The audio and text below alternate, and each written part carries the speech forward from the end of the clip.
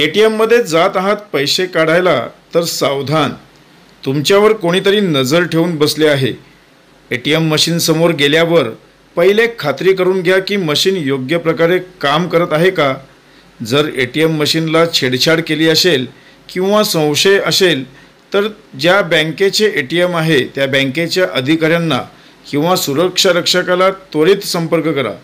कारण यामध्ये तुमची फसवणूक होऊ शकते. अनेक वेळा ए टी एम मशीन हे सिस्टीममध्ये सर्व्हर डाऊन असल्याने काम करत नाही. तर अनेक वेळा रोख रक्कम नसल्याने ए टी एममधून माघारी परतावे लागते. परंतु कधीकधी ए टी एममधून पैसे काढत असताना आपल्या खात्यातून आपले पैसे कट होतात. त्याचा मेसेजही येतो.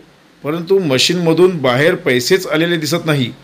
अशा वेळेस पैसे न मिळाल्याने अनेकदा घाईत असल्याने पुन्हा निघून जातो आणि याच संधीचा फायदा घेत आपल्यावर लक्ष ठेवून असलेला भामटा आपले त्या मशीनमध्ये आलेले पैसे घेऊन फरार होतो.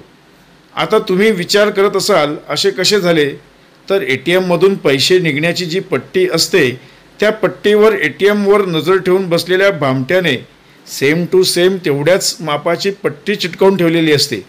यामुळे ग्राहकाने काढलेले पैसे तिथेच अडकलेले असतात.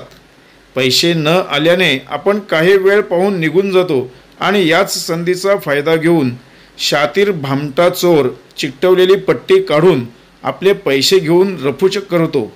यामुळे अशी फसवणूक आपल्यासोबतही होऊ शकते.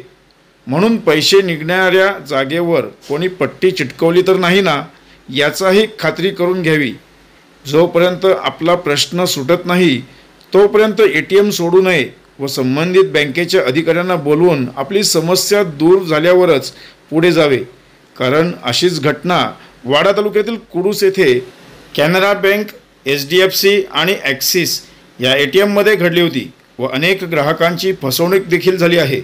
या व्हिडिओमध्ये दिसणारा हाच तो संशयित आरोपी आहे. आपला जिल्हा पालघर जिल्हा. पालघर जिल्ह्यातील घडामोडी पाहण्याकरिता पालघर न्यूज नेटवर्क हे चॅनल जरूर पहा.